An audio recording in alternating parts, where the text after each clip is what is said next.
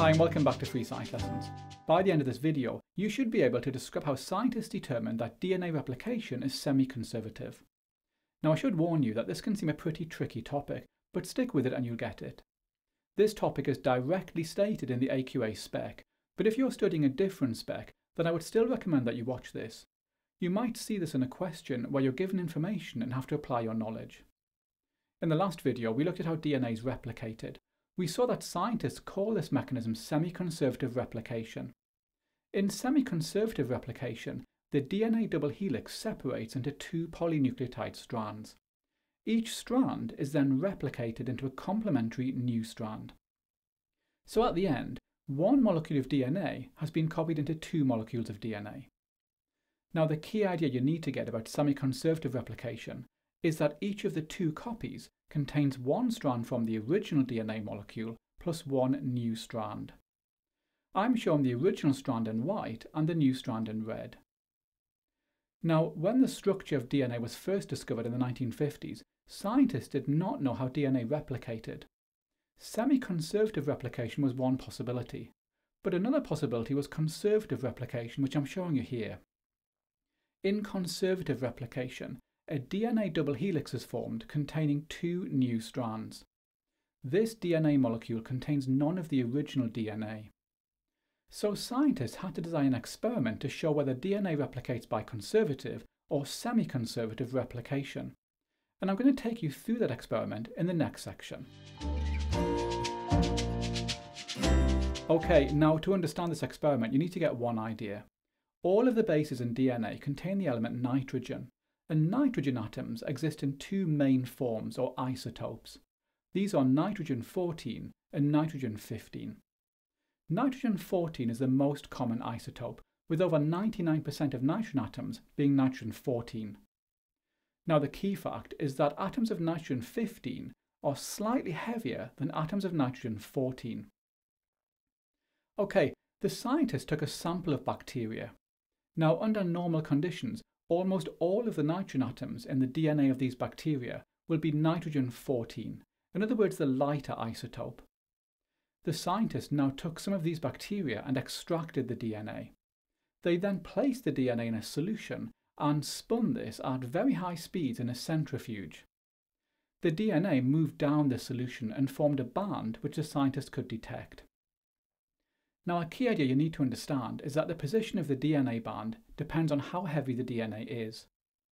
Because the nitrogen atoms in this DNA were almost all nitrogen-14, in other words light nitrogen, this formed a band near the top of the tube. I'm going to represent DNA containing light nitrogen as faint lines. Next, the scientists cultured the bacteria in a growth medium which contained only nitrogen-15. After the bacteria had reproduced many, many times, almost all of the nitrogen atoms in their DNA was nitrogen-15, in other words heavy nitrogen. When this DNA was extracted and centrifuged, it formed a band near the bottom of the tube. I'm going to represent DNA containing heavy nitrogen as thick lines. So to summarise so far, when bacteria were grown on nitrogen-14, because their DNA was lighter, it formed a band near the top of the tube. But when bacteria were grown on nitrogen-15, because their DNA was heavier, it formed a band near the bottom of the tube. Okay, now at this stage, the scientists took a sample of the bacteria which had been growing on nitrogen-15, in other words heavy nitrogen. The scientists transferred these bacteria to nitrogen-14 and allowed them to replicate their DNA only once. The scientists then extracted the DNA and spun it in a centrifuge. What they found was that this DNA produced a band in between the two bands produced before. This told the scientist that this DNA contained one strand with nitrogen-14 and one strand with nitrogen-15. Now this was really important because this means that the DNA must have replicated semi-conservatively. Remember that in semi-conservative replication, the DNA produced contains one strand from the original DNA plus one completely new strand. So in this case, the replicated DNA had one strand containing nitrogen-15 and one strand containing nitrogen-14. Now at this point the scientists allowed the bacteria to replicate one more time on nitrogen-14. When the DNA was extracted and spun, it produced a band pattern like I'm showing you here. We've still got the intermediate band, but we now have another band near the top of the tube. Now we can explain this if we go back to our previous diagram. After the second round of replication, we've got four DNA molecules.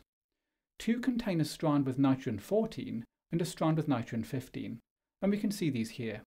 These represent this band. The other two DNA molecules both contain two strands with only nitrogen-14, and we can see these here. These represent this band. Okay, now in the exam you could be asked to suggest what the results would show if DNA replicates conservatively rather than semi-conservatively. Remember that in conservative replication we end up with one molecule of DNA containing two original strands and one molecule of DNA containing two new strands.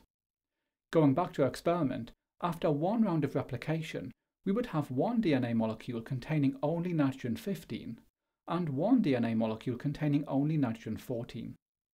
After two rounds of replication, we would still have one DNA molecule containing only nitrogen-15, but we'd now have three DNA molecules containing only nitrogen-14. Notice that we'd have no DNA molecules containing both nitrogen-14 and nitrogen-15. So with conservative replication, we would get the banding pattern shown here. Okay, so hopefully now you can describe how scientists determine that DNA replication is semi-conservative.